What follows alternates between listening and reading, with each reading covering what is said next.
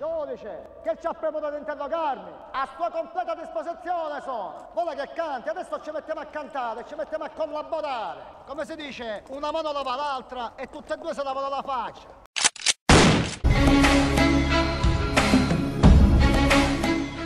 Fatti chiara amicizia lunga però, giudice. Tanto per cominciare queste manette, queste bracciate perché? C'ha premura che scappo. Guarda che non scappo. Ormai io lavoro per lo Stato. Sono diventato l'impiegato statale. La vacca. Buongiorno. Allora Marina, sei pronto? Pronto. E allora, signor giudice, le dico subito che ammazzare Zerbinotto e Corradi sono stato io, per ordine di Scalea. Ci ho sparato tre colpellone in testa, uno, due, tre, in mezzo agli occhi, come si fa con i cavalli. No, ma quante volte lo devo dire le cose, signor giudice? Ma che fa non ci capiamo? Che parliamo due lingue diverse.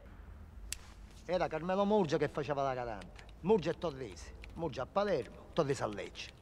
Apparteneva alla saga Corona Unita e tutte e due prendevano ordine da Scalea. Sì, sì, Scalea è un corleonese. Ha cominciato come campione di Navarra, ma poi ha fatto affare pure con i pugliesi della saga Corona Unita. Quello non parla, signor giudice, non parla, non c'è niente. E a me, e a me mi fanno un cappotto.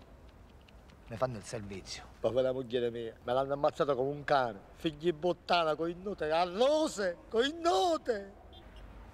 Ma io mi devo vendicare, giudice. Collaboro. giudice. E a chi do? Come pensate di fotterlo? Io non valgo niente. Scalia sono le mie parole e ci piscia di sopra. C'è solo un uomo che può incastrare Scalia.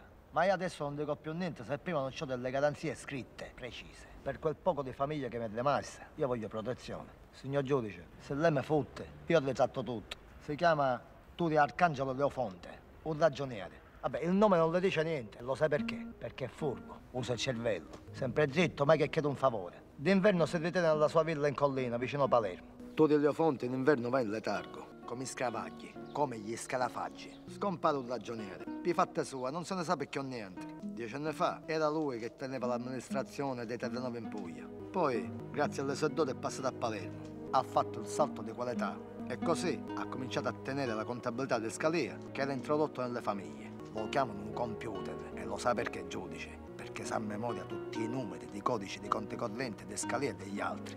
Si è sposato tardi, con Franca Gravina, nipote dei Cangemi, la più bella donna di tutta la Sicilia. E questa qua gli ha dato due creature. Il piccolo Nicola di solo 4 anni e Chiara, la primogenita, che ce n'ha 17. Quello, il ragioniere, vive solo per la famiglia, non ci fa mancare niente. Lui sta bene, tiene i piccioli, naviga nell'ora. E invece a quelle come me vengono gettate gli ossi. Come si dice, giudice, nella vita c'è chi nasce conte e c'è chi nasce cane. Solo che i cani sono loro, non io. Todello Fonte conosce tutti i conti segreti di Scalea, i fondi neri e anche quelli rossi sporchi di sangue. Sa il nome di tutta quella bella gente di Milano che la sera si mette lo smoking per andare in teatro alla scala e s'annacano. Mentre l'indomani mattina si mettono in fila sul libro pago della cupola. Tiene tutto qua in testa, signor giudice. In questa testa, se voi la scuotete, questa testa, e Salvatore si rompe, cominciano a schizzare fuori il nome, il nome, tanti nomi, centinaia di nomi.